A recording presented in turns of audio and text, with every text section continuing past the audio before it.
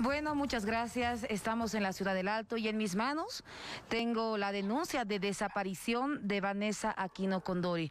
Es una joven de 25 años que desapareció hace dos días antes de la Navidad, el 23 de diciembre del año pasado, y la familia está muy acongojada. Quiero que vean ustedes cómo se han organizado.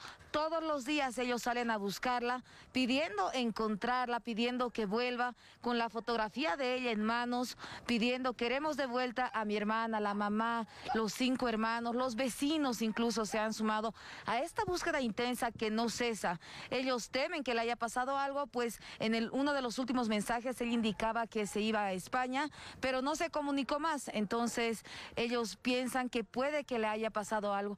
Muy buenos días. Me encuentro con la mamá. Señora, buenos días. Están buscando intensamente a Vanessa. Sí, estamos buscando, señorita, a mi hija, que se ha perdido el 27 de diciembre.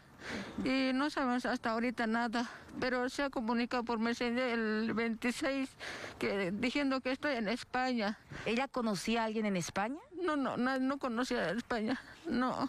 No hay tampoco familiares así, no, uno familiar hay, pero no sabía tampoco nada. Ahora, otra de las cosas que los preocupa es que Vanessa salió hacia la ceja a hacer algunos trámites, a pagar algunas cuentas, pero no volvió, sin embargo, acá dejó todos sus documentos, su ropa. A ver, vamos a ingresar al cuarto de Vanessa, por favor, si podemos ingresar, señora, porque queremos mostrarles cómo básicamente ha dejado todas sus cosas acá, Vanessa. A ver, pasemos, por favor es la preocupación de la familia entera que se está uniendo en esta búsqueda incansable. Vanessa es una mujer de 25 años que prácticamente desapareció el 23 de diciembre en circunstancias que, bueno, hacen dudar a la familia de que ella esté segura, sana y salva. A ver, este es el domicilio. Acá este es el cuarto de Vanessa, señora. Ah, este es de la Vanessa, de mi hija Vanessa, su cuarto. Aquí vivía ella, pero yo ella, con ella vivía. Y como solita, soltera, entonces aquí yo vivía con ella dormíamos con ella, así, ese es su cuarto, pero yo a dormir nomás. Acá están todas sus cosas. Aquí, así, aquí está todo, todo, todo, así vestimenta, así como estaba aquí en la casa, así nomás siquiera no se ha cambiado, no salió a la calle a pasear, ni nada, un ratito voy a ir a, al banco, ha ido un ratito, de eso nomás ya no, no ha vuelto mi hija. Justamente hay un cartel, si ustedes pueden ver al fondo, que dice Te extraño hermana, hay algunas velas, también todos los cuadernos de Vanessa, ella recién egresó de la carrera de Derecho. ¿De quiénes sospechan, señora?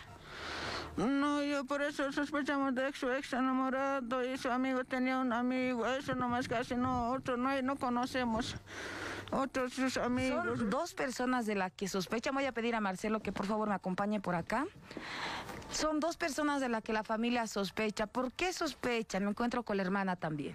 Buenos días.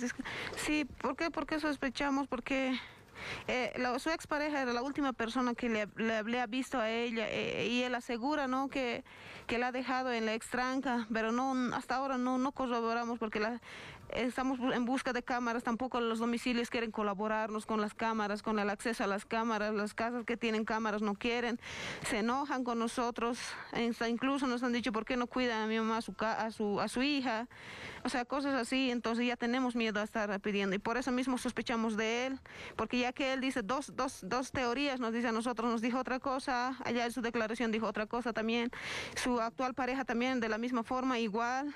Muchas gracias. Es la información que tenemos desde la ciudad del Alto. Para terminar, señora, por favor, ¿qué le dice a Vanessa si es que está viendo esta, este reportaje?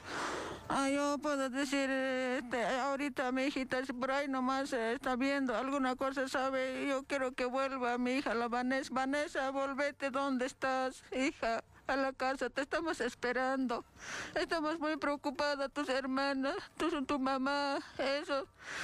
Quiero que vuelva o algo, si no quieres volver, díganos algo, o quien lo, te, lo te tiene, díganos, avísenos, por favor. Gracias, señora, es el pedido de la madre, de los hermanos, de los vecinos, para que Vanessa aparezca. Ella tiene 25 años y desapareció el 23 de diciembre del año pasado. Muchas gracias.